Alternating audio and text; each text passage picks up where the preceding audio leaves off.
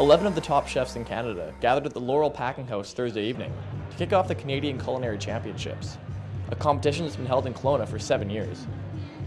The three event competition sees chefs from St. John's to Victoria cook for a panel of judges of some of the top culinary minds in the country.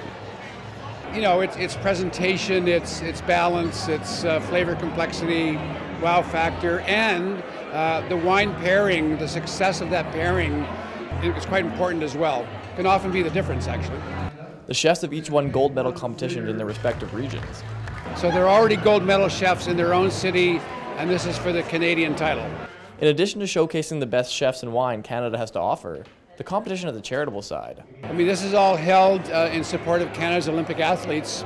So we're raising a million dollars a year that goes right to the Own the Podium program for athlete training uh, and coaching and that kind of thing. And the competition allows dozens of Canada's wineries, including many from right here in the Okanagan, to show off the best they offer. Those wines are going in front of 4,000 people across Canada.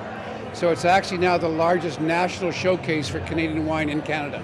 The level of winemaking in all the regions is shooting way up in the last five or six years, and uh, we're now we're now taking on the world.